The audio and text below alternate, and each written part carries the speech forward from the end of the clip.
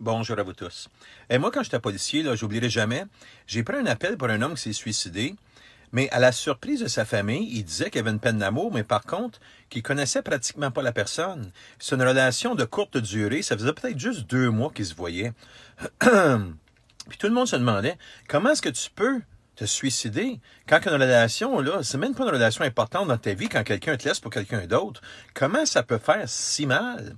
Mais quand on a fait l'enquête, on s'est aperçu que mais cet homme-là, toute sa vie, était parsemé d'abandon, de trahison, d'injustice. Avec les années, souvent, tu accumules tes blessures. Puis ce qui arrive, c'est que tu es une bombe à l'attardement. Puis quand quelqu'un te laisse, même si c'est une relation de courte durée, ça réactive toutes tes blessures du passé, puis là, tu le ressens intensément au présent, puis c'est vraiment pas évident.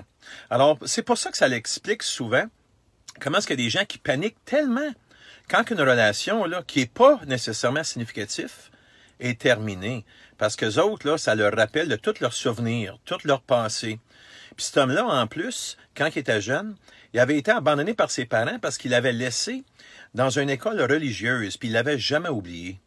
Alors, l'accumulation de la souffrance, des fois, là, ça fait que tu gardes tellement ça refoulant dans toi-même que quand tu veux un incident, mais tout sort, tout éclate. Alors, c'est pour ça que c'est tellement important de lâcher prise à mesure, de pas attendre que tu n'es plus capable.